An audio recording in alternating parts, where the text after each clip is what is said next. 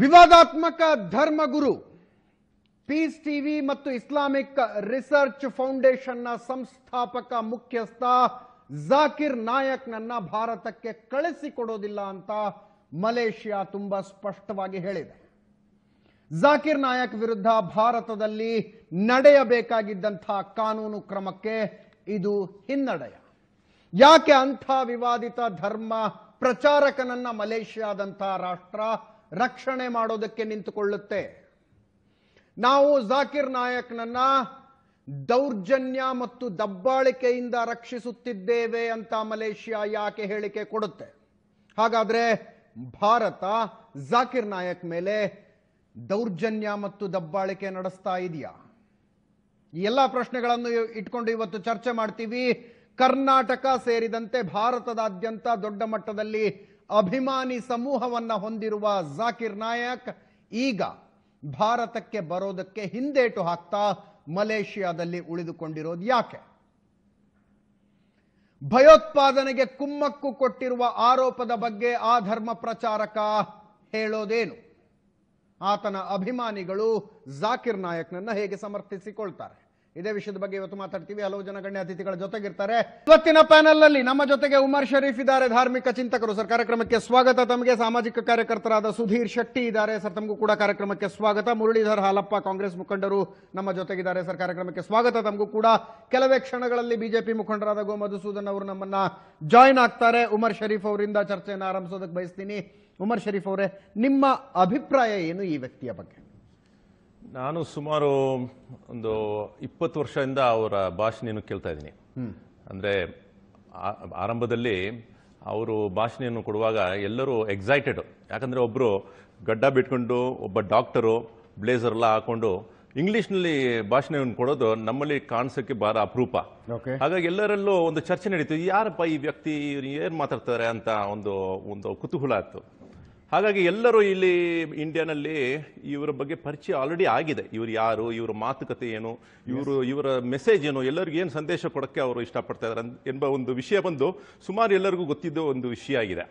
So ಇವರ ಬಗ್ಗೆ ನನಗೆ ಯಾಕೆ ಆರಂಭದಲ್ಲಿ ಒಂದು ಕ್ಯೂರಿಯಾಸಿಟಿ ಅಂದರೆ ಜಿಹಾದ್ ಮತ್ತು ಭಯೋತ್ಪಾದನೆ ಎಂಬ ಒಂದು ಒಂದು ಭಾಷೆಯನ್ನು ಕೊಟ್ಟರು. ಇಂಡಿಯಾನಲ್ಲಿ ಇಲ್ಲಿ ಬೆಂಗಳೂರಲ್ಲಿ ಕೂಡ ಕೊಟ್ಟಿದ್ದಾರೆ ಮತ್ತು ಚೆನ್ನೈನಲ್ಲಿ ಕೊಟ್ಟಿದ್ದಾರೆ ಮತ್ತು ಮುಂಬೈನಲ್ಲಿ ಕೊಟ್ಟಿದ್ದಾರೆ. ನಾನು ಕೇಳಿದ್ದೀನಿ ಅದರಲ್ಲಿ.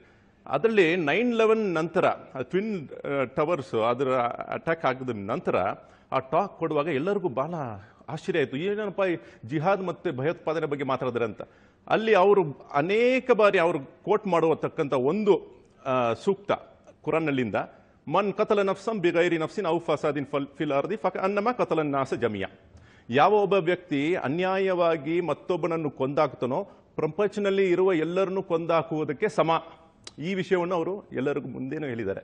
ಸೊ ಹಾಗಾಗಿ ನಾವು ನೋಡುವಾಗ ಈ ವ್ಯಕ್ತಿ ಬಗ್ಗೆ ತಪ್ಪಾದ ಅಭಿಪ್ರಾಯ ಇರಲಿಲ್ಲ. ಆದರೆ ಸುಮಾರು ಒಂದೆರಡು ಎರಡು ವರ್ಷದ ಮುಂಚೆ ಮಾಧ್ಯಮಗಳಲ್ಲಿ ನಾವು ಕೇಳಿ ಬಂದಿದ್ದು ಏನಂದ್ರೆ ಡೇ ಸ್ಟಾರ್ನಲ್ಲಿ ಅಲ್ಲಿ ಬಾಂಗ್ಲಾದೇಶ್ನಲ್ಲಿ ಒಂದು ಅಟ್ಯಾಕ್ ಆದ ನಂತರ ಅಲ್ಲಿ ಯಾವುದೇ ಒಬ್ಬ ವ್ಯಕ್ತಿಯ ಬಗ್ಗೆ ಫೇಸ್ಬುಕ್ನಲ್ಲಿ ನೋಡುವಾಗ I am inspired by doctor Zakir Naik ಅಂತ ಅವನು ಬರೆದಿಟ್ಟಿದ್ದಾನಂತೆ. ನನಗೆ ಜಾಕಿರ್ ನಾಯ್ಕ್ ಅಂದ್ರೆ ನನಗೆ ಬಹಳ ಪ್ರೇಮ ಅಂದ್ರೆ ವಿಶ್ವಾಸ ಅಂತ. ಸೊ ಹಾಗಾಗಿ ಅದರ ಮೇಲೆ ಅವರು ಡೇ ಸ್ಟಾರ್ ನ್ಯೂಸ್ ಏನ್ ಮಾಡಿದ್ದಾರೆ? ಈ ವಿಷಯವನ್ನು ಅಲ್ಲಿ ಅವರು ರೆಕಾರ್ಡ್ ಮಾಡಿರುವಾಗ ಅಲ್ಲಿಂದ ಚರ್ಚೆ ಶುರುವಾಯಿತು. ಆದರೆ ಸುಮಾರು ಒಂದು ಒಂದು ವಾರ ಹತ್ತು ದಿನ ನಂತರ ಡೇ ಸ್ಟಾರ್ ಅವರು ಆ ಮಾತನ್ನು ಅವರು ವಾಪಸ್ ತಗೊಂಡ್ಬಿಟ್ರು.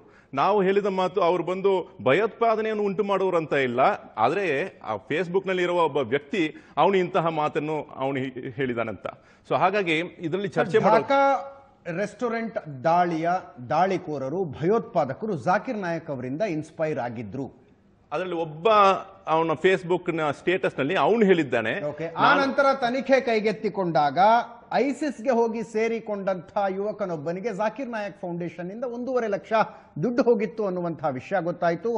ಹೊರಗಡೆಯಿಂದ ಬಂದ ಹಣಕ್ಕೆ ಇವರ ಹತ್ರ ಲೆಕ್ಕ ಇರಲಿಲ್ಲ. ಅದರ ಜೊತೆ ಜೊತೆಗೆ ಇನ್ನೊಬ್ಬರ ಧಾರ್ಮಿಕ ಭಾವನೆಗಳನ್ನ ಹರ್ಟ್ ಮಾಡುವ ರೀತಿಯಲ್ಲಿ ಜಾಕಿರ್ ನಾಯಕ್ ಮಾತಾಡ್ತಾರೆ ಅನ್ನುವಂಥದ್ದು ಗೊತ್ತಾದಂತಹ ಸತ್ಯ. ಎನ್ಐಎ ಕೇಸ್ ರಿಜಿಸ್ಟರ್ ಮಾಡ್ತು. ವಿದೇಶಕ್ಕೆ ಹೋದಂತಹ ಜಾಕಿರ್ ನಾಯಕ್ಗೆ ಭಾರತದ ಕಾನೂನನ್ನ ಎದುರಿಸುವ ಸ್ಥೈರ್ಯ ಇಲ್ಲ. ಧೈರ್ಯ ಇದೆಯೋ ಇಲ್ಲ ಅದ್ರ ಬಗ್ಗೆ ನಾನು ಮಾತಾಡೋಕೆ ಮುಂಚೆ ಅವರು ಬಂದು ಕೇಸ್ ಇವಾಗ ನಡೆಸ್ತಾ ಇದ್ದಾರೆ ಲಾಯರ್ ಮೂಲಕ ಕೇಸ್ ನಡೆಸ್ತಾ ಇದ್ದಾರೆ ಆದರೆ ಇವಾಗ ಇಂಡಿಯಾಗೆ ಬರಕ್ಕೆ ಅವರಿಗೆ ಒಂದು ರೀತಿಯ ಒಂದು ಒಂದು ಏನಂದ್ರೆ ಧೈರ್ಯಕ್ಕಿಂತ ಭಯ. ಭಯ. ಏನಂದ್ರೆ ವಿಷಯ ಏನಂದ್ರೆ ಇವಾಗ ಬಿಜೆಪಿ ಗವರ್ಮೆಂಟ್ ಮೇಲೆ ಅವರಿಗೆ ನಂಬಿಕೆ ಇಲ್ಲ. ಒಂದು ವಿಷಯ ಹೇಳ್ಬೇಕಂದ್ರೆ. ನೋಡಿ ಮೊನ್ನೆ ಎಂಟು ಜನ ರಿಲೀಸ್ ಆದ ನಂತರ ಜಯಂತ್ ಸಿನ್ಹಾ ಎಂಬ ಒಬ್ಬ ವ್ಯಕ್ತಿ ಯೂನಿಯನ್ ಮಿನಿಸ್ಟ್ರು ಆ ಗೋಮಾಂಸದ ವಿಷಯದಲ್ಲಿ ಎಂಟು ಜನ ರಿಲೀಸ್ ಆದ ನಂತರ ಹೋಗಿ ಅವರಿಗೆ ಗಾರ್ಲ್ಯಾಂಡ್ ಹಾಕ್ತಾರೆ ಹೂಮಾಲೆ ಹಾಕ್ತಾರೆ. ಸೊ ಇದೆಲ್ಲ ಬಂದು ಮಾಧ್ಯಮಗಳಲ್ಲಿ ನಾವು ಪ್ರಿಂಟ್ ಮಾಡ್ತೀವಿ. ಯಾರು ಪ್ರಿಂಟ್ ಮಾಡ್ತೀವಿ? ನಮ್ಮ ಭಾರತದ ಮಾಧ್ಯಮಗಳು ಪ್ರಿಂಟ್ ಮಾಡುವಾಗ ವಿದೇಶದಲ್ಲಿ ಇರುವತಕ್ಕಂಥವ್ರು ಅವರು ಕೂಡ ಇದನ್ನು ನೋಡಿ ಭಯ ಪಡ್ತಾರೆ. ಏನಪ್ಪ ಇಂಥದ್ದು ನಡೀತಿದೆಯಾ ಅಂತ. ಆದ್ರೆ ನನ್ಗೆ ಗೊತ್ತಿದೆ ನಮ್ಮ ಇಂಡಿಯಾನಲ್ಲಿ ಕಾನೂನು ಬಂದು ಸ್ಟ್ರಾಂಗ್ ಆಗಿದೆ. ಆದ್ರೆ ಒಂದೆರಡು ಕೇಸ್ಲಿ ಏನಾದ್ರು ಒಂದು ಆದ್ರೆ ಕೂಡ ಅದನ್ನ ನಾವೇ ನಾವು ಎಲ್ಲರಿಗೂ ನಾವು ಪ್ರಚಾರ ಮಾಡೋರು ನಾವೇ. ಉಮರ್ ಶರೀಫ್ ಅವರು ಹೇಳ್ತಾರೆ ಜಾಕೀರ್ ನಾಯಕ್ ಇಸ್ಲಾಂನ ಶಾಂತಿಯ ಸಂದೇಶಗಳನ್ನು ಕೊಡುವಂಥವ್ರು ಆ ಕಾರಣಕ್ಕಾಗಿ ನನಗೆ ಇಷ್ಟ ಆಗ್ತಾರೆ ಅನ್ನುವಂಥದ್ದು ಜಾಕೀರ್ ನಾಯಕ ಕೊಟ್ಟಿರುವ ಸಂದೇಶಗಳು ಹೆಂಗಿದ್ವು ಅನ್ನೋದನ್ನು ಪೀಸ್ ಬೈ ಪೀಸ್ ನಾನು ಹೇಳ್ತಾ ಹೋಗ್ತೀನಿ. ಸುಧೀರ್ ಶೆಟ್ಟಿ ಅವರೇ ನಿಮ್ಮ ಅಭಿಪ್ರಾಯ ಏನು ಈ ವ್ಯಕ್ತಿಯ ಬಗ್ಗೆ? ನೋಡಿ ಜಾಕೀರ್ ನಾಯಕ್ ಇದಾರಲ್ಲ ಇವರು ತಮ್ಮ ಧರ್ಮದಲ್ಲಿ ಅಂದರೆ ಇಸ್ಲಾಂ ಧರ್ಮದ ಬಗ್ಗೆ ತಮ್ಮ ಪೀಸ್ ಚಾನಲ್ ಇರ್ಬೋದು ಅಥವಾ ಅವರು ಅವ್ರ ಇಸ್ಲಾಮಿಕ್ ಆರ್ಗನೈಸೇಷನ್ ಇರ್ಬೋದು. ಅವ್ರು ಏನ್ ಮಾಡ ಇಸ್ಲಾಂ ಕಟ್ಟರ್ ಇಸ್ಲಾಮವಾದಿ ಅಂದ್ರೆ ಇಸ್ಲಾಂನಲ್ಲಿ ಸಲಾಫಿ ಇಸ್ಲಾಂ ಅಂತ ಕರಿತೀವಿ. ಹೆಣ್ಮಕ್ಳನ್ನ ಬಡಿಬಹುದು ಹೊಡಿಬಹುದು. ಬಡಿಬಹುದು ಕದ್ರೆ ಕೈ ಕಟ್ ಮಾಡ್ಬೇಕು. ಇದನ್ನೇ ಹೇಳುವ ಒಟ್ಟಿಗೆ ಭಗವದ್ಗೀತೆ ಭಗವದ್ಗೀತೆ ಬಗ್ಗೆನೂ ಅದರ ತಪ್ಪುಗಳನ್ನ ಹುಳುಕುಗಳನ್ನೂ ಹೇಳ್ತಾರೆ. ಇನ್ನು ಅನ್ಯ ಧರ್ಮದ ಹುಳುಕನ್ನು ಹೇಳ್ತಾರೆ. ಎಲ್ಲೋ ಒಂದ್ ಕಡೆ ಗೋಮಾಂಸನ ಹುಳುಕಿದ್ರೆ ಹೇಳಬೇಕು. ಹೇಳಬೇಕು. ಸರ್. ಹುಳುಕು ಅಂದ್ರೆ ಆ ಧರ್ಮದಲ್ಲಿ ಈ ತಪ್ಪಿದೆ ಈ ಧರ್ಮದಲ್ಲಿ ಈ ತಪ್ಪಿದೆ ಈ ಧರ್ಮ ಶ್ರೇಷ್ಠ ಅನ್ನೋದು ಅವ್ರ ವಾದ ಜಕೀರ್ ನಾಯಕ್ ಅವ್ರದ್ದು. ಈಗ ಬ್ರಾಹ್ಮಣರು ಹಿಂದೆ ಧರ್ಮಕ್ಕೆ ಸೇರಿದವರು ಗೋಮಾಂಸ ತಿಂತಿದ್ರು ಅಂತ ಅವ್ರು ಹೇಳ್ತಾರೆ, ಎಲ್ಲೋ ಒಂದ್ ಕಡೆ ಅವ್ರ ಸ್ಪೀಚ್ ಅಲ್ಲಿ. ಅಂದ್ರೆ, ಆದ್ರೆ ಇದಕ್ಕೆ ಕಾರಣ ಏನಂತ ಹೇಳಿದ್ರೆ, ಜಕೀರ್ ನಾಯಕ್ ಅಂತವ್ರು ಏನ್ ಮಾಡಿದ್ರು ಅಂದ್ರೆ ಎಜುಕೇಟೆಡ್ಸ್ ಇಂಡಿಯಾದಲ್ಲಿ ಎಜುಕೇಟೆಡ್ಸ್ ಯಾರು, ಮುಸ್ಲಿಮ್ಸ್ ಇದ್ರಲ್ಲ, ಇಸ್ಲಾಂ ಹುಡುಗರು, ಯಾರು ಎಂ ಬಿ ಬಿ ಎಸ್ ಇರ್ಬೋದು, ಯಾರು ಇಂಜಿನಿಯರಿಂಗ್ ಮುಗಿಸಿದವರು ಇದ್ದವರು ಇಂಥವ್ರ ಬಾಳಿನಲ್ಲಿ ಇವ್ರು ಕಲ್ಲು ಹಾಕಿದ್ರು. ಯಾಕಂದ್ರೆ ನೀವೀಗ ಒಂದು ಹಿಂದೆ ಸ್ವಲ್ಪ ಹೇಳಿದ್ರೆ ಐ ಸಿ ಎಸ್ ಇದು ಉಗ್ರವಾದಿ ಸಂಘಟನೆಗೆ ಎಷ್ಟೋ ಜನ ಭಾರತದಿಂದ ಹೋದ್ರು ಅನ್ನೋದು ಕಾರಣ ಈ ಜಕೀರ್ ನಾಯಕ್ ಅಂತವ್ರ ಭಾಷಣನೂ ಇಲ್ಲಿ ಮುಖ್ಯ ಆಗುತ್ತೆ. ಯಾಕಂದ್ರೆ ಇವ್ರು ಮೇನ್ ಟಾರ್ಗೆಟ್ ಮಾಡಿದ ಈ ವ್ಯಕ್ತಿ ಎಜುಕೇಟೆಡ್ಗಳನ್ನ. ತನ್ನ ಭಾಷಣದಲ್ಲಿ ಎಜುಕೇಟೆಡ್ಸ್ ಎಷ್ಟು ಇವ್ರು. ಯಾಕಂದ್ರೆ ಇವತ್ತು ಯಾಕಂದ್ರೆ ಭಾರತ ನಲವತ್ತೇಳರಲ್ಲಿ ಒಂದ್ಸರಿ ಡಿವೈಡ್ ಆಯ್ತು. ಭಾರತ, ಪಾಕಿಸ್ತಾನ, ಹಿಂದೂಸ್ತಾನ ಅನ್ನೋದು. ಅದನ್ನೇ ತೊಂಬತ್ತು, ತೊಂಬತ್ತರ ದಶಕದಲ್ಲಿ ನಮ್ಮ ದೇಶದಲ್ಲಿ ಯಾವಾಗ ರಾಮ ಮಂದಿರ ಬಾಬ್ರಿ ಮಸೀದಿ ವಿವಾದ ಆಯಿತು ಅಲ್ಲಿಂದ ಈ ದೇಶದಲ್ಲಿ ಒಂದು ಲಕೀರ್ ಎಳೆಯುತ್ತೆ, ಒಂದು ಗೆರೆ ಎಳೆಯುತ್ತೆ. ಇಸ್ಲಾಮ ಮತ್ತು ಹಿಂದೂ ಮಧ್ಯ. ಆ ಸಮಯದಲ್ಲಿ ಇಂಥವ್ರು ಯಾರ್ಯಾರಿದ್ರು? ಈ ತರ ಪ್ರಚೋದನಕಾರಿ ಭಾಷಣ ಮಾಡೋರು. ಅವ್ರು ಯಾವುದೇ ಧರ್ಮದಲ್ಲಿರಲಿ. ಅಂದ್ರೆ ಅವ್ರು ಮೆಂಟಲಿ, ಯಾಕಂತ ಹೇಳಿದ್ರೆ ತಮ್ಮದು, ತಮ್ಮ ತಂದೆ ಐಡೆಂಟಿಫೈ ಬೇಕಾದರೂ ಐಡೆಂಟಿಫೈ ಕೇಳುವಂಥವ್ರು, ಅದರಲ್ಲೂ ಒಂದು ತಪ್ಪು ಹುಡುಕೋರು. ಹೀಗೆ ಈ ತರದ ತಪ್ಪುಗಳ ಸರಮಾಲೆಗಳನ್ನು ಮಾಡಿ ಆ ಧರ್ಮದಲ್ಲಿ ಏನಿದೆ ಅಂತ ಎತ್ತಿ ಎತ್ತಿ ತೋರಿಸುವಂಥದ್ದು ಈ ಜಕೀರ್ ನಾಯಕ್ ಅಂತವ್ರಿಗೆ, ಆದ್ರೆ ಹೊರಗಿನ ರಾಷ್ಟ್ರದಲ್ಲಿ ಇವ್ರಿಗೆ ಭಾರಿ ಡಿಮಾಂಡ್ ಇದೆ. ಅದು ತುಂಬಾ ವಿಚಿತ್ರ. ಈಗ ನಿಮಗೆ ಎರಡು ಸರಿ ಇವ್ರಿಗೆ ಗಾಂಬಿಯಾ ಹಂತಲ್ಲಿ ವರ್ಷದ ವ್ಯಕ್ತಿ ಅಂತ ಕೊಡ್ತಾರೆ. ಆಮೇಲೆ ಇವ್ರನ್ನ ಶಾರ್ಜಾದಲ್ಲಿ ಇವರಿಗೆ ಆ ವರ್ಷದ ವ್ಯಕ್ತಿ ಅಂತ ಸನ್ಮಾನ ಮಾಡ್ತಾರೆ. ಮತ್ತೆ ಇವತ್ತು ಮಲೇಷ್ಯಾದಿಂದ ಹದಿನಾಲ್ಕು ರಾಷ್ಟ್ರದವರು ಇವರು ನಮ್ಮ ದೇಶಕ್ಕೆ ಬರಲಿ ಅಂತ ಕೇಳ್ತಾರೆ. ಹಾಗೆ ಒಬ್ಬೊಬ್ಬರದ್ದು ಒಂದೊಂದು ಒಪಿನಿಯನ್ ಇದೆ ಈಗ ನಾವು ಒಂದು ಒಂದು ಇದರಲ್ಲಿ ನೋಡಿದಾಗ ಬರ್ತೀನಿ, ಬರ್ತೀನಿ. ಜಾಕಿರ್ ಜಾಕೀರ್ ನಾಯಕ್ ಭಾಷಣದ ಕೆಲವು ಸ್ಯಾಂಪಲ್ಗಳನ್ನು ನಾನು ಹೇಳ್ತೀನಿ. ಆಮೇಲೆ ಡಿಸ್ಕಸ್ ಮಾಡೋಣಂತೆ ಡಿಬೇಟ್ ಮಾಡೋಣಂತೆ. ಇದು ಸಮ್ಮತವೇ ಮತ್ತು ಇದು ಇಸ್ಲಾಂನಲ್ಲಿ ಇದೆಯಾ ಅನ್ನೋದರ ಬಗ್ಗೆ. Muralidhar Halappa we are protecting him from suppression and tyranny ಇದು ಮಲೇಷ್ಯಾ ಸರ್ಕಾರ ಕೊಟ್ಟಿರುವ ಅಧಿಕೃತವಾದ ಹೇಳಿಕೆ. ಅದಕ್ಕೆ ತಕ್ಕನಾಗಿ ಉಮರ್ ಶರೀಫ್ ಅವರು ಹೇಳಿದ್ರು, ಬಿಜೆಪಿ ಸರ್ಕಾರದ ಬಗ್ಗೆ ಭಯ ಇದೆ. ಈ ಸರ್ಕಾರ ಹೆಚ್ಚು ಕಡಿಮೆ ಮಾಡಬಹುದು ಅನ್ನುವ ಕಾರಣಕ್ಕಾಗಿ. ಹೌದಾ ಹಾಗಿದ್ರೆ?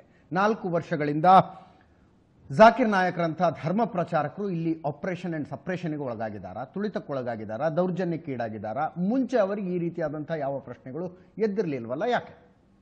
ಮೊನ್ನೆ ಆರನೇ ತಾರೀಕು ನಮ್ಮ ಭಾರತ ಸರ್ಕಾರದ M O S minister of state home Hansraj ಅವರು ಹಾಗೂ ವಕ್ತಾರರಾದಂಥ ಎಕ್ಸ್ಟರ್ನಲ್ ಅಫೇರ್ಸ್ ವಕ್ತಾರರಾದಂಥ ರವೀಶ್ ಕುಮಾರ್ ಅವರು ಸ್ಟೇಟ್ಮೆಂಟ್ ಕೊಟ್ಟರು ಹಿಂದೂ ವಿರೋಧಿ, ಧರ್ಮದ್ರೋಹಿ, ಈ ಥರ ಹಲವಾರು ಅಂಶಗಳನ್ನಿಟ್ಟುಕೊಂಡು ಅವ್ರನ್ನ ನಾನು ಹೇಳೋಕ್ಕೆ ಇವತ್ತು ಇಚ್ಛೆ ಪಡ್ತೀನಿ ನಾನು ಹಿಂದೂನೇ ಇವತ್ತಿಲ್ಲಿ ನಿಮ್ಮ ಎದುರುಗಡೆ ಕೂತ್ಕೊಂಡು ಮಾತಾಡ್ತಾ ಇದ್ದೀನಿ.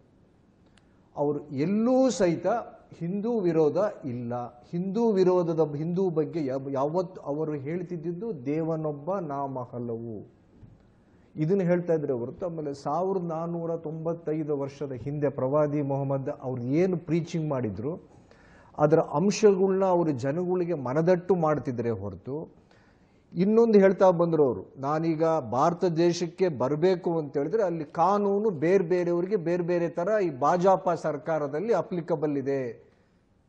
ಅಲ್ಲಿ ನೀರವ್ ಮೋದಿಗೆ ಬೇರೆ ಕಾನೂನು ಇದೆ, ಅಮಿತ್ ಶಾಗೆ ಬೇರೆ ಕಾನೂನು ಇದೆ, ಲಲ್ಲು ಪ್ರಸಾದ್ ಯಾದವ್ಗೆ ಬೇರೆ ಕಾನೂನು ಇದೆ.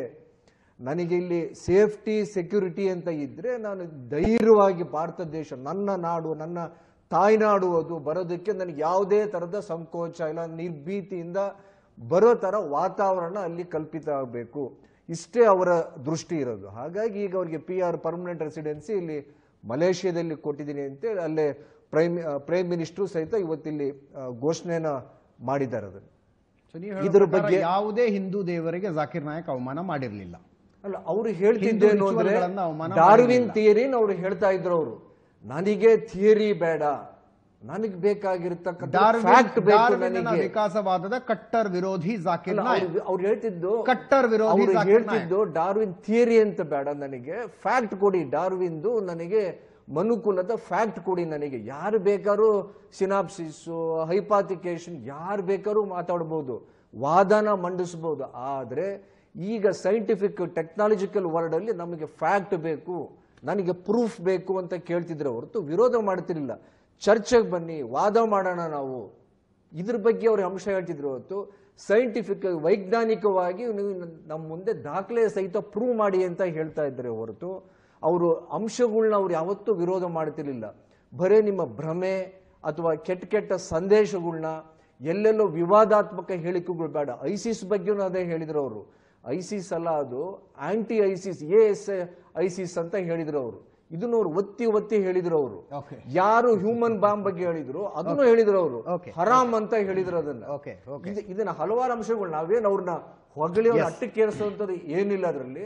ತಪ್ಪು ತಪ್ಪು ಸರಿ ಸರಿ. ಅವ್ರು ಏನಾದ್ರು ತಪ್ಪು ಮಾಡಿದ್ರೆ ಕಾನೂನಿದೆ ಕಾನೂನಾತ್ಮಕವಾಗಿ. ದೇಶದ ಯಾವುದೇ ಧರ್ಮದ ಕಾನೂನಿಗೆ ನೆಲಗಟ್ಟಿನಿಂದ ಅವರೇನು ಮೀರಿದವರೇನಲ್ಲ ತಪ್ಪು ಮಾಡಿದರೆ ಅದು ಕಾನೂನಿದೆ ಇದೆ ಅದು ಕ್ರಮ ಕೈಗೊಳ್ಳೋದಕ್ಕೆ. ನಮ್ಮ ಯಾರೂ ಅದಕ್ಕೆ ವಿರೋಧ ಇಲ್ಲವೇ ಇಲ್ಲ ಉಮರ್ ಶರೀಫ್ ಅವರೇ. ಹೌದು. ಜಾಕಿರ್ ನಾಯಕ್ ಅವರ ಭಾಷಣದ ಒಂದು ಸಣ್ಣ ಅಂಶ. ಮುಸ್ಲಿಂ ಸೇನೆ ಇನ್ನೊಂದು ಸೇನೆಯ ಮೇಲೆ ದಾಳಿ ಮಾಡಿದಾಗ ಶತ್ರುವನ್ನ ಕೊಂದು ಅವರ ಹೆಣ್ಣು ಮಕ್ಕಳನ್ನ ಸೆಕ್ಸ್ ಕ್ಲೇವ್ ಆಗಿ ಬಳಸಿಕೊಳ್ಳುವ ಅಧಿಕಾರವನ್ನ ಸ್ವತಃ ಅಲ್ಲಾಹು ಮುಸ್ಲಿಮರಿಗೆ ಕೊಟ್ಟಿದ್ದಾನೆ. It was statement by the Zakir Naik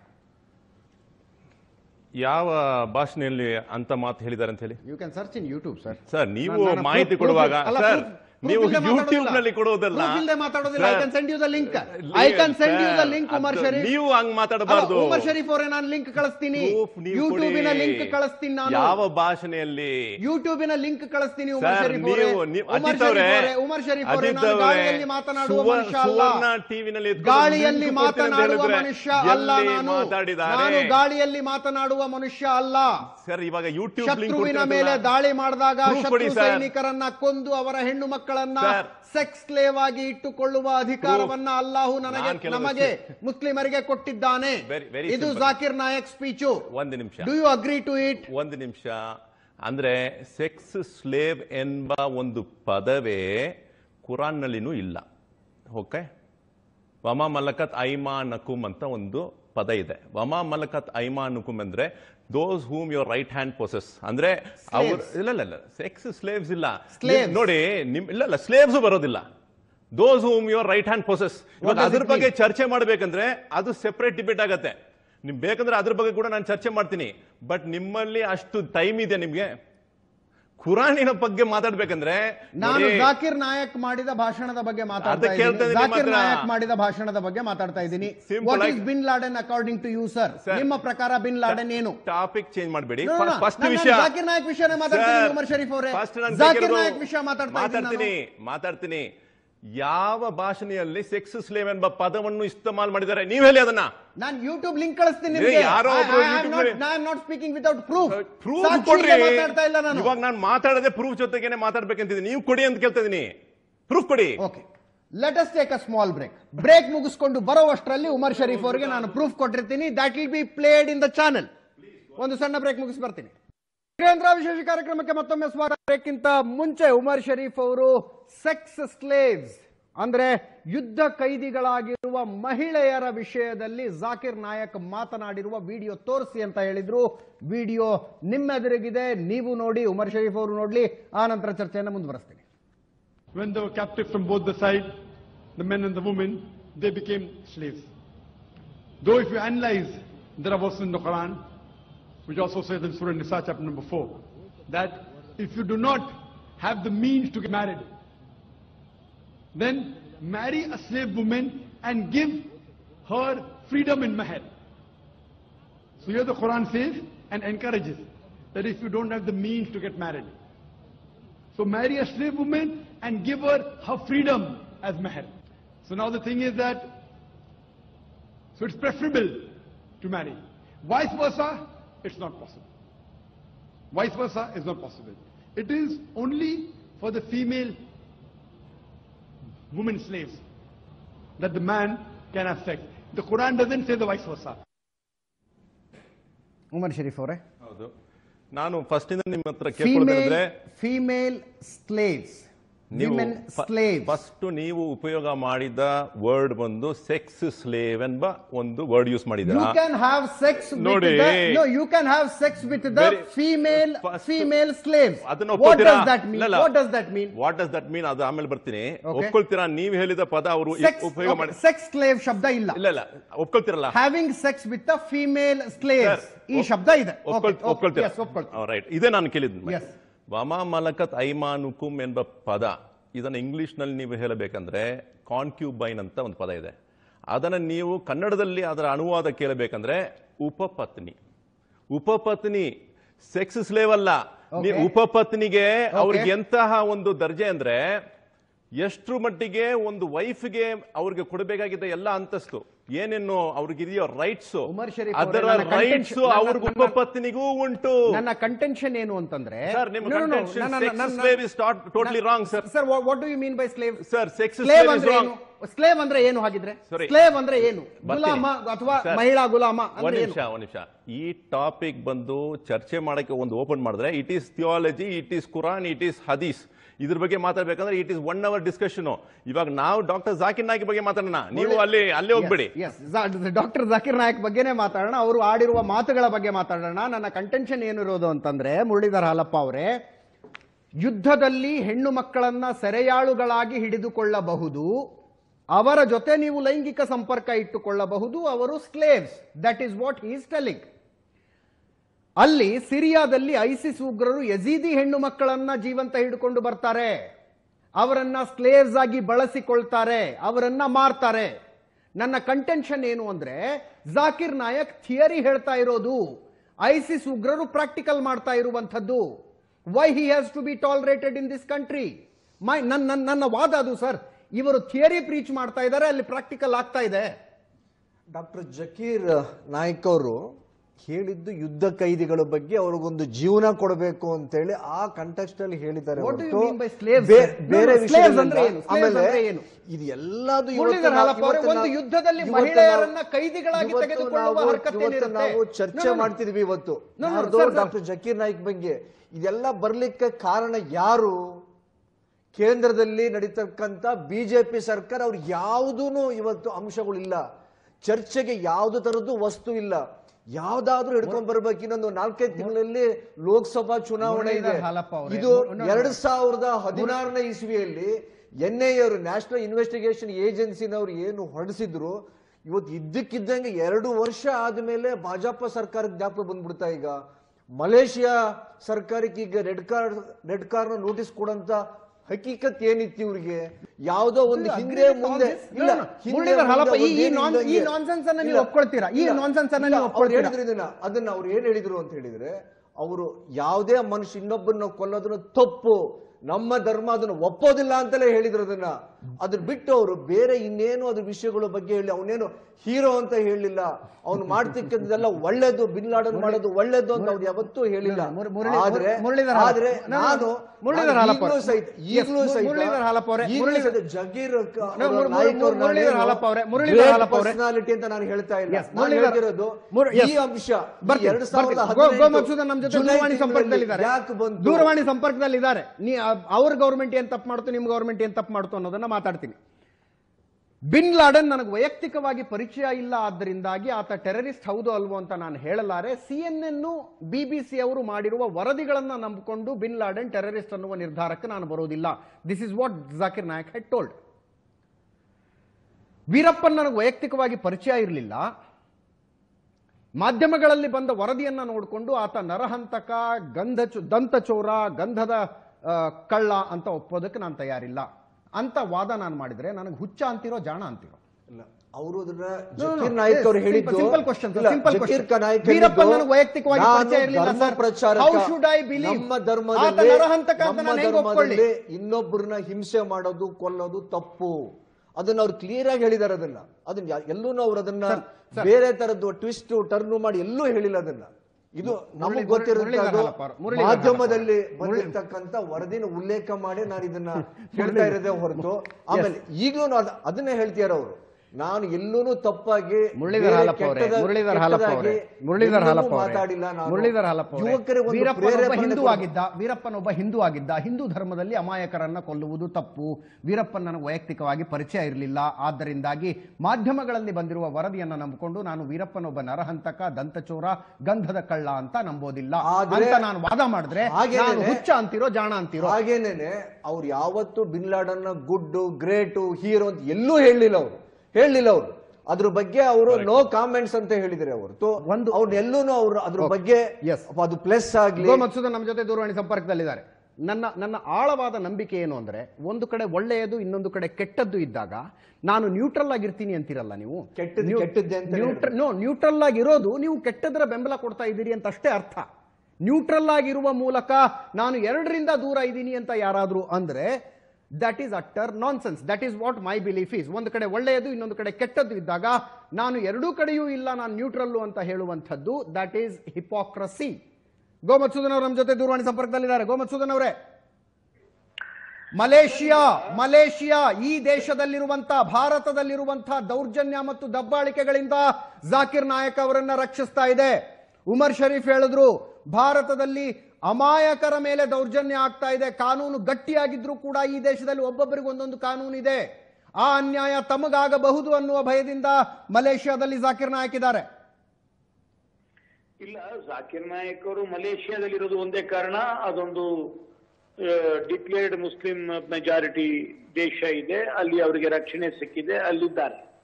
ಆದ್ರೆ, ಅರೀಫ್ ಮೊಹಮ್ಮದ್ ಖಾನ್ ಅವರು ಇದೇ ಕೇಂದ್ರ ಸರ್ಕಾರದಲ್ಲಿ ಮಂತ್ರಿಗಳಾಗಿದ್ದಂತಹವರು ಅವರು ಈ ಜಾಕಿರ್ ನಾಯಕ್ ಬರುವಂತ ಕಾರ್ಯಕ್ರಮಕ್ಕೆ ನಾನು ಬರೋದಿಲ್ಲ ಅಂತ ಹೇಳಿ ಇಂಡಿಯನ್ ಇಸ್ಲಾಮಿಕ್ ಕಲ್ಚರಲ್ ಸೆಂಟರ್ಗೆ ಪತ್ರ ಬರೀತಾರೆ. ಈ ವ್ಯಕ್ತಿ ಸರಿ ಇಲ್ಲ. ಈತನ್ನ ನಾವು ಇಸ್ಲಾಂನ ಪರವಾಗಿ ಮಾತನಾಡಲಿಕ್ಕೆ ಬಿಡಬಾರದು. ಈತ ರ್ಯಾಡಿಕಲೈಸ್ ಮಾಡಕ್ ಹೊರಟಿದ್ದಾನೆ ಅಂತನ್ನುವಂತ ಆರೋಪವನ್ನ ಮಾಡಿರುವಂತದ್ದು ಭಾರತೀಯ ಜನತಾ ಪಾರ್ಟಿಯವರೆಲ್ಲ ಅರೀಫ್ ಮೊಹಮ್ಮದ್ ಖಾನ್ ಅವರು ಕೇಂದ್ರದಲ್ಲಿ ಮಂತ್ರಿ ಆಗಿದ್ದಂತವರು ಅವ್ರು ಮಾಡಿರುವಂತ ಆರೋಪ. ಇವರು ಮಾಡಿರುವಂತ ರಾಡಿಕಲೈಸೇಷನ್ ಇಂದ ಡಾಕಾನಲ್ಲಿ ನಡೆದಂತ ಆ ಒಂದು ಉಗ್ರವಾದಿ ಚಟುವಟಿಕೆಗೆ ಕೆಲವರು ಉಗ್ರವಾದಿಗಳು ಪ್ರೇರಿತರಾಗಿದ್ದಾರೆ ಅಂತ ಹೇಳಿ ಆ ಉಗ್ರವಾದಿಗಳನ್ನ ಹಿಡಿದಂತ ಇಸ್ಲಾಮಿಕ್ ಸ್ಟೇಟ್ ಆದಂತ ಬಾಂಗ್ಲಾದೇಶದ ಪೊಲೀಸ್ನವರು ಹೇಳ್ತಾರ ಮಾತನ್ನ ಇಂಗ್ಲೆಂಡು ಮತ್ತು ಕೆನಡಾ ಈ ವ್ಯಕ್ತಿ ಬರೋದು ಬೇಡ. ನಮ್ ದೇಶಕ್ಕೆ ನಮ್ ದೇಶಕ್ಕೆ ಬಂತು ಅಂದ್ರೆ ಇರುವಂತ ಮುಸಲ್ಮಾನರನ್ನ ರ್ಯಾಡಿಕಲೈಸ್ ಮಾಡ್ತಾನೆ. ಅಂತೇಳಿ ಇಂಗ್ಲೆಂಡು ಮತ್ತು ಕೆನಡಾ ಇವನು ಬರೋದನ್ನ ಬ್ಯಾನ್ ಮಾಡಿದ್ದಾರೆ. ಒಬ್ಳು ಹೆಣ್ಮಗಳು, ಗುಜರಾತಿ ಹೆಣ್ಮಗಳು, ನನ್ನನ್ನ ಇವನ ಶಿಷ್ಯ, ನನ್ನ ಮದುವೆ ಮಾಡಿಕೊಂಡ, ಆ ನಂತರದಲ್ಲಿ ನನ್ನ ಸಿರಿಯಾಗಿ ಕಳಿಸುವಂತ ಪ್ರಯತ್ನ ಪಟ್ಟ, ನಾನು ಅದರಲ್ಲಿ ಬಚಾವಾಗಿ ಬಂದಿದ್ದೇನೆ ಅಂತ ಕೇರಳದ ಹೈಕೋರ್ಟ್ನಲ್ಲಿ ಕೇಸ್ ಹಾಕಿದ್ದಾಳೆ.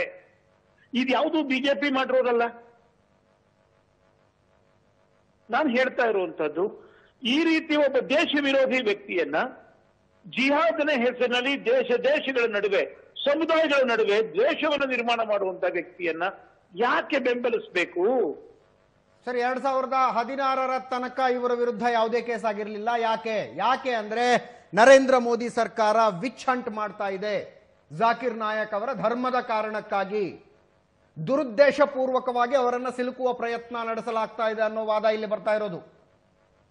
ಸರ್, ಹಾಗಾದ್ರೆ ನಾನು ಹೇಳ್ತಾ ಇರೋದು, ನರೇಂದ್ರ ಮೋದಿ ಅವರ ಮಾತನ್ನ ಕಟ್ಕೊಂಡು ಬಾಂಗ್ಲಾದೇಶ ಹೇಳ್ತಾ? ನರೇಂದ್ರ ಮೋದಿ ಅವರ ಮಾತನ್ನ ಕಟ್ಕೊಂಡು ಕೆನಡಾ ಮತ್ತು ಇಂಗ್ಲೆಂಡ್ ಇವ್ರನ್ನ ಬ್ಯಾನ್ ಮಾಡ್ತಾ ಎಲ್ಲ ಯಾವುದಕ್ಕೂ ನರೇಂದ್ರ ಮೋದಿ ಅಂತ ಹೇಳುವಂಥದ್ದು ಇದು ಎಲ್ಲಿಗೆ ಸರಿ ಮತ್ತೆ ಮುಸಲ್ಮಾನ್ ಒಬ್ಬ ನಾಯಕನ್ನ ಮುಸಲ್ಮಾನ್ ದೇಶಗಳೇ ಒಪ್ಪದೇ ಇದ್ದಂತ ಸಮಯದಲ್ಲಿ ಅಂತ ವ್ಯಕ್ತಿಯನ್ನ ತಲೆ ಮೇಲೆ ಕೂಡಿಸ್ಕೊಂಡು ನಮಗೆ ನಾಲ್ಕು ಓಟ್ ಬರುತ್ತೆ ಅಂತ ಅನ್ನೋ ಕಾರಣಕ್ಕೋಸ್ಕರವಾಗಿ ದೇಶದ ಸೆಕ್ಯೂರಿಟಿಯನ್ನ ದೇಶದ ಸಮಗ್ರತೆಯನ್ನ ನೀವು ಈ ರೀತಿ ಜಿಯೋಪಾಲಿಟೈಸ್ ಮಾಡಬಹುದಾ? ಡಾಕ್ಟರ್ ಜಾಕಿರ್ ನಾಯ್ಕ್ ಮೇಲೆ ಅವರು ಮಾತಾಡುವ, ಅವರು ಭಾಷಣೆ ಮಾಡುವ ಸ್ಟೈಲ್ನಲ್ಲಿ ನನಗೆ ಎಷ್ಟೋ ಭಿನ್ನಾಭಿಪ್ರಾಯ ಉಂಟು. ಆದರೆ ನನ್ನ ವಿಷಯ ಏನಂದ್ರೆ, ಅವರು ಭಯೋತ್ಪಾದನೆ ಮಾಡಕ್ಕೆ ಅವ್ರು ಏನು ಪ್ರೋತ್ಸಾಹ ನೀಡಿದಾರಾ ಇಲ್ಲ ಅಂತಂದ್ರೆ ಇಲ್ಲ. ಅದು ನನ್ನ ವಾದವಾಗಿದೆ. But doctor Zakir Naik style of approach ಅವ್ರು ಮಾತಾಡೋ ಸ್ಟೈಲು ಅದು ಬಂದು ಕೆನಡಾ ಆಗಲಿ ಮತ್ತೆ ಯು ಕೆ ಆಗಲಿ ಅವ್ರಿಗೆ ಹಿಡಿಸ್ಲಿಲ್ಲ. ತೆರಸಮ್ಮೆ ಎಂಬ ಒಬ್ಬ ಒಬ್ಬ ವ್ಯಕ್ತಿ ಅವಳು ಹೇಳ್ಕೊಳ್ತಾರೆ ನಮಗೆ ಇಷ್ಟ ಇಲ್ಲ ಇವ್ರು ಬಂದು ಮಾತಾಡೋದು ಈ ರೀತಿಯಲ್ಲಿ ಅವ್ರು ಪ್ರಮೋಟ್ ಮಾಡೋದು ಅವ್ರ ರಿಲಿಜನ್ ಬಗ್ಗೆ ಇಷ್ಟ ಇಲ್ಲ ಅಂತ. ಅದು ಅವರ ಇಷ್ಟ ಆಗಿದೆ ಅಷ್ಟೇ ನಾವೇನು ಮಾಡೋಕ್ಕಾಗೋದಿಲ್ಲ. ಬಟ್ ಅವ್ರೇನು ಇವ್ರು ಭಯೋತ್ಪಾದನೆಯನ್ನು ಉಂಟು ಮಾಡ್ತಾರಂತ ಅವ್ರೇನು ಆರೋಪ ಮಾಡಿಲ್ಲ ಆ ಕಾಲದಲ್ಲಿ. ಅಂದ್ರೆ opinion about bin Laden sir my opinion ನಿಮಗೆ ಬೇಕಿದ್ಯಾ? ಹೌದು ಬೇಕು. ಖಂಡಿತ ವೆರಿ ಇಂಪಾರ್ಟೆಂಟ್ ಪರ್ಸನ್ ಅಲ್ಲ.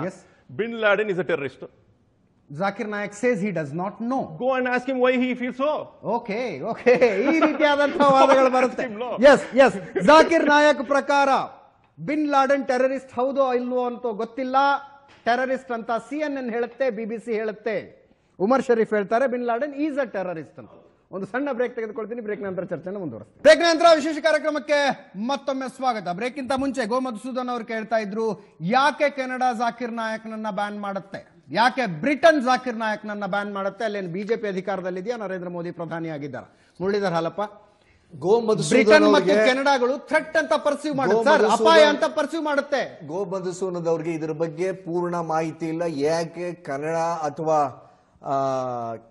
ಯು ಕೆ ಅವ್ರನ್ನ ಬ್ಯಾನ್ ಮಾಡಿದ್ರು ಅಂತೇಳಿ. ಒಂದೇ ಒಂದು ಕಾರಣ ಯು ಎಸ್ ಅವ್ರನ್ನ ಬ್ಯಾನ್ ಮಾಡಿತು. ಅವ್ರ ಟ್ವಿನ್ ಟವರ್ಸ್ ಬಗ್ಗೆ ಕಾಮೆಂಟ್ ಮಾಡಿ ಜಾರ್ಜ್ ಬುಷ್ ಮೇಲೇನೆ ಅವರು ರಿವರ್ಸ್ ಹೊಡೆದ್ರು ಅದನ್ನ. ಇಡೀ ಪ್ರಪಂಚ ತಿರುಗೋಡಂಗ್ ಮಾಡಿದ್ರು ಅದನ್ನ. ಯೋ ಯು ಎಸ್ ಅಲ್ಲಿ ಇಂಟರ್ನಲ್ ಪಾಲಿಟಿಕ್ಸ್ ಗೋಸ್ಕರ ಏನೋ ಮಾಡಿದ್ರು ಅಂತ ಅಂತೇಳಿ ಪ್ರಪಂಚ ಆವಾಗ ಅವಾಗ ಅವರು ಇವರಿಗೆ ಹಚ್ಕೊಟ್ರದನ್ನ ಕೆನಡಾ ಹಾಗೂ ಯು ಕೆ ಇದ್ರ ಬಗ್ಗೆ ಏನೇನೂ ಇರಲಿಲ್ಲ. ಒಂದೇ ಒಂದು ಸಣ್ಣದಾದಂತ ಆಪಾದನೆ ಇರಲಿಲ್ಲ. ಸಣ್ಣದಾದಂತ ಒಂದು ಕೇಸು ಇರಲಿಲ್ಲ. ಇವ್ರ ಬಗ್ಗೆ ಯಾರು ಒಂದು ಕಂಪ್ಲೇಂಟ್ ಕೊಟ್ಟಿರ್ಲಿಲ್ಲ. ಮಾಧ್ಯಮದಲ್ಲೂ ಸಹಿತ ಇವ್ರ ಬಗ್ಗೆ ನೆಗೆಟಿವ್ ಬಂದಿರಲಿಲ್ಲ. ಯು ಎಸ್ ಯಾವಾಗ ಬ್ಯಾನ್ ಮಾಡಿತು ಮಿತ್ರ ಪಕ್ಷಗಳು ಮಿತ್ರ ದೇಶಗಳು ಯಾವಾಗ ಹೇಳಿದ್ರು ಅವಾಗ ಇವರಿಬ್ರು ಅದನ್ನೇ ಕೋಟ್ ಮಾಡಿದ್ದೆ ಹೊರತು ನಮ್ಮ ದೇಶಕ್ಕೆ ಥ್ರೆಟ್ ಇದೆ ನಮ್ಮ ಭದ್ರತೆಗೆ ಥ್ರೆಟ್ ಇದೆ ನಮ್ಮ ಜನಕ್ಕೆ ಇದರಿಂದ ಥ್ರೆಟ್ ಇದೆ ಅಂತ ಯಾವತ್ತೂ ಅವ್ರು ಹೇಳಲಿಲ್ಲ. ಅಮೆರಿಕಕ್ಕೆ ಇವ್ರು ಈ ತರ ಸ್ಟೇಟ್ಮೆಂಟ್ ಕೊಟ್ಟರು ನಾವು ಸಹಿತ ಅವ್ರ ಕ- ಜೊತೆ ಕೈ ಜೋಡಿಸ್ತೀವಿ ಅವ್ರನ್ನ ಬ್ಯಾನ್ ಮಾಡ್ತೇವೆ ಅಂತ ಹೊಡೆದ್ರು ಹೊತ್ತು ಡಾಕ್ಟರ್ ಜಕೀರ್ ನಾಯ್ಕ್ ಬಗ್ಗೆ ಅವ್ರು ಯಾವುದೇ ತರದ ಅದು ಅದ್ರ ಬಗ್ಗೆ ಅವರು ಸೊಲ್ಲೆತ್ತಲಿಲ್ಲ. ಇದು ಕ್ಲಿಯರ್ ಇದು. ಇಲ್ಲ. ಏನಾಗಿತ್ತಂದ್ರೆ ಜಕೀರ್ ನಾಯಕ್ ಅವ್ರದ್ದು ಸ್ಲೀಪರ್ ಸೆಲ್ ಅಂತೀವಿ ನಾವು ಭಾರತದಲ್ಲಿ. ಈ ಸ್ಲೀಪರ್ ಸೆಲ್ಗಳು ಒಂದು ಆಕ್ಟಿವೇಟ್ ಆಗಬೇಕಂದ್ರೆ ಇಂಥವರಿಂದ ಬೇಕಾದಷ್ಟು ಇನ್ಸ್ಪಿರೇಷನ್ ತೊಳ್ತಾರೆ ಅದರ ಅರ್ಥ ಎರಡು ಸಾವಿರದ ಹದಿನಾರರಲ್ಲಿ ಮೋದಿ ಸರ್ಕಾರ ಯಾವತ್ತೂ ಯಾವುದಾದ್ರೂ ಕೇಸ್ಗಳಾದ್ರೆ ಅದ್ರ ಮೇಲೆ ಬರ್ತಾ ಬಂದ ಮೇಲೆ ತಾನೇ ಅದನ್ನು ಓಪನ್ ಮಾಡೋದು. ಅದರರ್ಥ ಮೋದಿ ಅಥವಾ ಕಾಂಗ್ರೆಸ್ ಅಥವಾ ಇನ್ನೊಂದು ಸರ್ಕಾರದ ಯಾವುದೇ ಇರುವುದಿಲ್ಲ. ನ್ಯಾಷನಲ್ ಥ್ರೆಟ್ ಅಂತ ಬಂದಾಗ ಒಬ್ಬ ದೇಶಕ್ಕೆ ಒಬ್ಬ ವ್ಯಕ್ತಿ ಮಾರಕವಾಗ್ತಾನಂತ ಬಂದಾಗ ಖಂಡಿತವಾಗೂ ಅವನ ವಿರುದ್ಧ ಕಾನೂನು ಕ್ರಮ ತಗೊಳ್ಳೇಬೇಕು. ಅದರ ಅರ್ಥ ಅಲ್ಲಿ ಈಗ ಬಿಜೆಪಿ ಅದನ್ನ ಇದು ಮಾಡ್ತಾ ಇದೆ ಇಲೆಕ್ಷನ್ ಬಂತು. ಅದು ತುಂಬಾ ತಪ್ಪು. ಯಾಕಂದ್ರೆ ಯಾವತ್ತೂ ಹೇಳ್ತಾರೆ ಆರ್ಮಿ ಯಾವತ್ತೂ ಹೇಳುತ್ತೆ ಯಾವತ್ತೂ ನಿಮ್ಮ ರಾಜಕಾರಣಕ್ಕೆ ನಮ್ಮನ್ನ ದೇಶ ಕಾಯೋರ್ನ ಅಥವಾ ದೇಶದ ಬಗ್ಗೆ ವಿರುದ್ಧವಾಗಿರೋರ್ನ ನಿಮ್ಮ ರಾಜಕೀಯಕ್ಕೆ ನಮ್ಮನ್ನ ಎಳಿಬೇಡಿ ಅಂತ ಹೇಳಿ ಯಾಕಂದ್ರೆ ಒಂದು ವೇಳೆ ಹಿಂದೆ ದೇಶದ ಬಗ್ಗೆ ಎಲ್ಲರಿಗೂ ಅಭಿಮಾನ ಇದೆ. ಅದು ಕಾಂಗ್ರೆಸ್ಗೂ ಇರುತ್ತೆ, ಬಿಜೆಪಿಗೂ ಅತ್ಯಧಿಕವಾಗಿ ಇರುತ್ತೆ ಯಾಕಂತ ಹೇಳಿದ್ರೆ ಈ ನಾನು ಹೇಳ ಇಂದಿರಾ ಗಾಂಧಿಯವರು, ಆ ಸಮಯದಲ್ಲಿ ಬಾಂಗ್ಲಾದೇಶ ಇರ್ಬೋದು ಅಥವಾ ಪಾಕಿಸ್ತಾನ, ಇವತ್ತು ಎರಡೂ ಒಂದಾಗಿದ್ರೆ ಈ ದೇಶಕ್ಕೆ ಎಷ್ಟು ಥ್ರೆಟ್ ಆಗ್ತಿತ್ತು? ಅದನ್ನ ಡಿವೈಡ್ ಮಾಡಿ ಇವತ್ತು ಬಾಂಗ್ಲಾದೇಶ ಮಾಡಿದ್ರೆ ಈಚೆ ಪಾಕಿಸ್ತಾನ. ಅದನ್ನೇ ಸರ್ಜಿಕಲ್ ಸ್ಟ್ರೈಕ್ ಆಯಿತು. ಅದನ್ನು ಕೆಲವೊಬ್ರು ಹೇಳಿದ್ರು ಇದು ಪ್ರಚಾರ ತೋಳ್ಲಿಕ್ಕೆ ಮಾಡೋದು. ಹಾಗೆ ಜಾಕೀರ್ ನಾಯಕ್ ಅಂತ ಅವ್ರ ವಿಷಯನ ಯಾವತ್ತು ಪ್ರಚಾರಕ್ಕೆ ತಗೊಳ್ಬಾರ್ದು ಅಂತ ಇರಲ್ಲ. ನಿಜವಾಗೂ ಹೇಳ್ಬೇಕಂದ್ರೆ ಜಾಕಿರ್ ನಾಯಕ್ ನನ್ನ ಪ್ರಶ್ನೆ ಜಾಕಿರ್ ನಾಯಕ್ ಯಾಕೆ? ಇವರಂತೆ ಧರ್ಮ ಪ್ರಚಾರಕರು ಬೇರೆಯವರು? ಸುಮಾರು ಜನ, ಸುಮಾರು. ಎಷ್ಟೋ ಜನ ಇದ್ದಾರೆ. ಎಷ್ಟೋ ಜನ ಇದ್ದಾರೆ ಯಾಕೆ ಜಾಕಿರ್ ನಾಯಕ್ ಮಾತ್ರ? ಯಾಕೆ ಜಾಕಿರ್ ನಾಯಕ್ ಮಾತ್ರ? ಯಾಕೆ ಅಂದ್ರೆ ಅವರು ಅವರು ಅವರು ಕಟ್ಟಿಕೊಂಡಿರುವ ಎನ್ ಜಿ ದಿಂದ ಅವರು ಕಟ್ಟಿಕೊಂಡಿರುವ ಫೌಂಡೇಶನ್ನಿಂದ ಐಸಿಸ್ಗೆ ರಿಕ್ರೂಟ್ ಆದವರಿಗೆ ದುಡ್ಡು ಹೋಗಿದ್ದಕ್ಕೆ ಪ್ರೂಫ್ ಸಿಕ್ಕಿಲ್ಲ. ಅವರೇ. One and half lakh rupees ಒಂದೂವರೆ ಲಕ್ಷ ರೂಪಾಯಿ ಐಸಿಸ್ಗೆ ಹೋದಂತಹ ವ್ಯಕ್ತಿಗೆ ಇವರ ಫೌಂಡೇಶನ್ನಿಂದ ದುಡ್ಡು ಹೋಗುವಂತದ್ದೇನಿರುತ್ತೆ ಅವರೇ it is not a witch hunt ಅನ್ನೋದಕ್ಕೆ ಎಕ್ಸಾಂಪಲ್ ಕೊಡ್ತಾ ಇದ್ದೀನಿ ಸುಧೀರ್ ಶೆಟ್ಟಿ. ಹಿಂದೆ ಏನಾಗ್ತಿದ್ರು ಅಂದ್ರೆ ಜಕೀರ್ ನಾಯಕ್ ಇಂದ ಎಲ್ಲ ಈ ಎಜುಕೇಟೆಡ್ಸ್ ಬ್ರೈನ್ ವಾಶ್ ಆಗ್ತಾ ಇದ್ರು. ನಾನು ಒಂದು ಮೂರು ವರ್ಷದ ಹಿಂದೆ ಒಂದು ಕಾರಲ್ಲಿ ಹೋಗ್ತಾ ಇದ್ದು, ನಾವು ಒಬ್ರು ಗಾಡಿ ನಡೆಸ್ತಾ ಇದ್ರು ಡ್ರೈವರು. ಅವ್ರಿಗೆ ನಾನು ಕೇಳಿದೆ ಫೋನಲ್ಲಿ ಮಾತಾಡ್ತಿದ್ರು ಎಷ್ಟನೇ ಪತ್ನಿಯಪ್ಪ ಅಂತ ಹೇಳಿ. ಇಲ್ಲ ಸರ್, ನಾನು ನಾಲ್ಕನೇ ವೈಫು ಅಂತ ಹೇಳಿ. ಆ ಮನುಷ್ಯ ಡ್ರಿಂಕ್ಸ್ ಮಾಡಿದ್ದ. ಯಾಕಪ್ಪ, ನಾಲ್ಕನೇ ನೀನು ಮದುವೆ ಆಗಿಬಿಟ್ಟೆ ನೀನು ಒಂದು ಮದುವೆ ಮಾಡಿ ಇವತ್ತು ಸಂಸಾರ ನಡೆಸೋದೆ ಬೆಂಗಳೂರಲ್ಲಿ ಕಷ್ಟ ಇದೆ. ನೀನು ನಾಲ್ಕು ಮದುವೆ ಆಗಿದೆ ಅಂತ ಹೇಳಿ. ಹೌದು ಸರ್, ಜಾಕೀರ್ ನಾಯ್ಕ್ ಹೇಳಿದಾರೆ ಅಂತ ಹೇಳ್ದ. ನನ್ನ They are not going on individual No, no, no, no, no, cases. no, no, no, ಹಂಗಲ್ಲ, no, no, ಹಂಗಲ್ಲ. no, No, no, no, no. no. This- this is ನಾನು- the- ನಾನು I don't ಒಬ್ಬ consider this as a ವ್ಯಕ್ತಿ- right example. I don't consider this as a right example. ನೀವು ಹೇಳ್ತಾ ಇದ್ರೆ ಅವ್ನು ಕುಡಿದಿದ್ದ ಅಂತ ಜಾಕಿರ್ ನಾಯಕ್ ಕುಡಿಬಾರ್ದು ಅಂತ ಹೇಳ್ತಾರೆ ಜಾಕಿರ್ ನಾಯಕ್ ಕುಡಿಬಾರ್ದು ಅಂತ ನಾನು ಹೇಳ್ತಾರೆ ಅದನ್ನ ಹೇಳ್ತಾ He ಇಲ್ಲ. was not an ardent follower of Zakir Nayak. I don't agree with you. ನಾನು ಹೇಳುದು ನಾನು ತಮಗೆ ಏನು ಬೇಕು ಕೆಟ್ಟದ ವಿಷಯಗಳು ಅದನ್ನ ತಗೊಳ್ತಾರೆ ಜನ ಅದರಲ್ಲಿ ಒಳ್ಳೆ ವಿಷಯ ಅಂದ್ರೆ ಇಸ್ಲಾಂನಲ್ಲಿ ಅಂತ ಇರುತ್ತೆ ಆ ವ್ಯಕ್ತಿ ಅದನ್ನ ಹೇಳ್ತಾನೆ ಆದ್ರೆ ಅವನು ಅದನ್ನ ಮಾಡ್ತಾನೆ ಅದರ ಅರ್ಥ ಇಂಥವ್ರು ಎಷ್ಟು ಜ ಎಷ್ಟು ಜನರು ಸ್ಲೀಪರ್ ಸೆಲ್ ಅಂತ ಇವತ್ತು ಎಲ್ಲರನ್ನ ಹ್ಯಾಕ್ ಬ್ರೈನ್ ವಾಶ್ ಮಾಡ್ಬೋದು ಅಂತ ನಾನು ಹೇಳ್ತಾ ಇರೋದು. ಎಕ್ಸಾಂಪಲ್ ಹೇಳ್ತಾ ಇರೋದು. ಬೇರೆ ಏನಲ್ಲ. ಉಮ- ಉಮರ್ ಶರೀಫ್ ಅವರೇ ಭಾರತದ ನ್ಯಾಯಾಂಗ ವ್ಯವಸ್ಥೆ ಮೇಲೆ ಜಾಕಿರ್ ನಾಯಕಿಗೆ ನಂಬಿಕೆ ಇರ್ಲಿಕ್ಕಿಲ್ವಾ? ಅಜ್ಮಲ್ ಕಸಬ್ಗೂ ಕೂಡ ಫೇರ್ ಟ್ರಯಲ್ ಕೊಟ್ಟಂತಹ ದೇಶ ಸರ್ ಇದು. ಗೊತ್ತು. ಟೈಗರ್ ಮೆಮೋನಿಗೆ ಫೇರ್ ಟ್ರಯಲ್ ಕೊಟ್ಟಂತಹ ದೇಶ ದೇಶ ನಮ್ ದೇಶ. ಎಸ್ ನಮ್ಮ ದೇಶ ಟೈಗರ್ ಮೆಮೋನಿಗೆ ಫೇರ್ ಟ್ರಯಲ್ ಕೊಟ್ಟಂತಹ ಕೊಟ್ಟಂತ ದೇಶ ಅಫ್ಜಲ್ ಗುರುನ ನೇಣಿಗೆ ಹಾಕೋದಕ್ಕಿಂತ ಮುಂಚೆ ನೇಣಿಗೆ ಹಾಕಬೇಡಿ ಅಂತ ಒಂದು ಪಿಟಿಷನ್ ಬಂದ್ರೆ ಮಧ್ಯರಾತ್ರಿ ಬಾಗಿಲು ತೆಗೆದು ಕೋರ್ಟಿನ ಬಾಗಿಲು ತೆಗೆದು ವಿಚಾರಣೆ ನಡೆಸಿದಂತಹ ದೇಶ ಇದು. ಇಂಥ ದೇಶದ ನ್ಯಾಯಾಂಗದ ಮೇಲೆ ಜಾಕಿರ್ ನಾಯಕ್ ಅವರಿಗೆ ನಂಬಿಕೆ ಇರ್ಲಿಕ್ಕಿಲ್ವಾ? ಜಾಕಿರ್ ನಾಯಕ್ಗೆ ಅಂತಿಲ್ಲ. ಇವತ್ತಿಗೆ ನಾಲ್ಕು ಜಡ್ಜಸ್ಗಳು ಅವರು ಕೂಡ ಬಂದು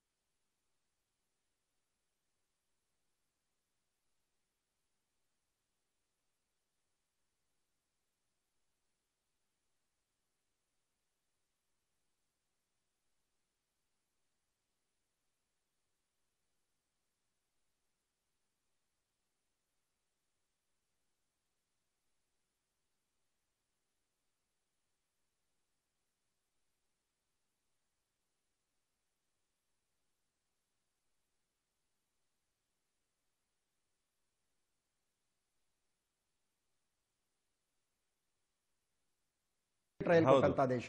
ಅಫ್ಜಲ್ ಗುರುನ ನೇಣಿಗೆ ಹಾಕೋದಕ್ಕಿಂತ ಮುಂಚೆ ನೇಣಿಗೆ ಹಾಕಬೇಡಿ ಅಂತ ಒಂದು ಪಿಟಿಷನ್ ಬಂದ್ರೆ ಮಧ್ಯರಾತ್ರಿ ಬಾಗಿಲು ತೆಗೆದು ಕೋರ್ಟಿನ ಬಾಗಿಲು ತೆಗೆದು ವಿಚಾರಣೆ ನಡೆಸಿದಂತಹ ದೇಶ ಇದು.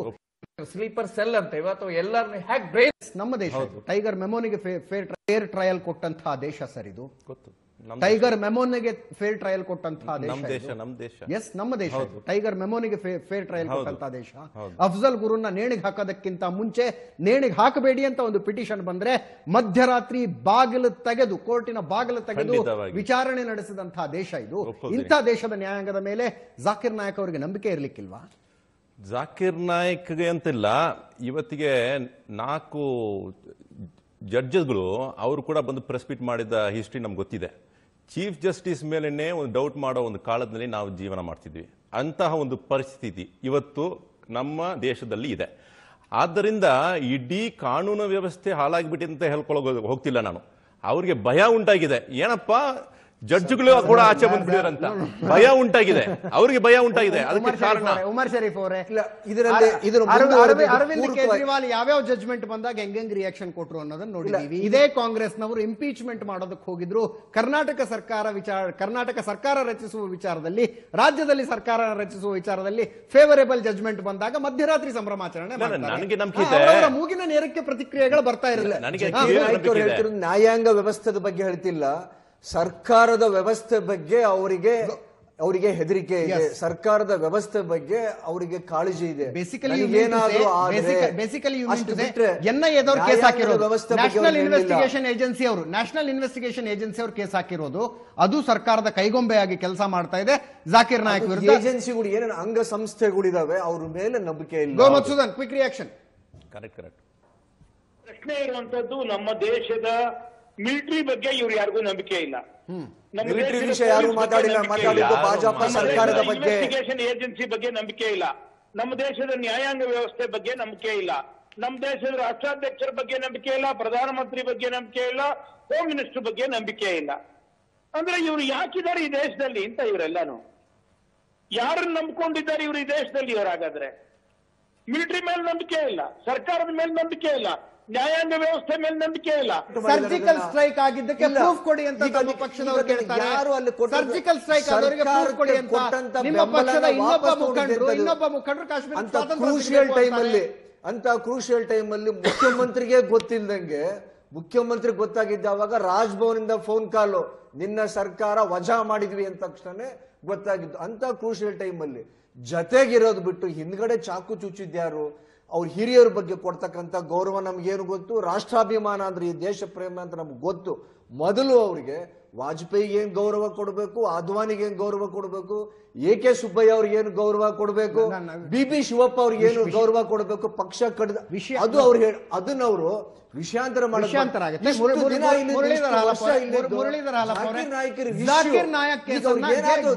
ಅವ್ರಿಗೆ ಲೋಕಸಭಾ ಚುನಾವಣೆ ಆಗೋವರೆಗೂ ಪ್ರತಿ ವಾರ ಪ್ರತಿ ತಿಂಗಳು ಒಂದ್ ಏನಾದ್ರೂ ಇಶ್ಯೂ ಬೇಕು ಅವ್ರಿಗೆ. ಇಷ್ಟು ಬಿಟ್ರೆ ಇನ್ನೇನೂ ಬೇಕಾಗಿಲ್ಲ. ಇವತ್ತು ಯು ನಮ್ಮ giving a clean chit to Zakir Naik ಇಲ್ಲ ನಾವು ಯಾವತ್ತೂ ಹೇಳಿಲ್ಲ ಅದನ್ನ. ಅದು ನಾವು ಹೇಳ ಕಾನೂನಾತ್ಮಕ ಕ್ರಮ ಕೈಗೊಳ್ಳಿ.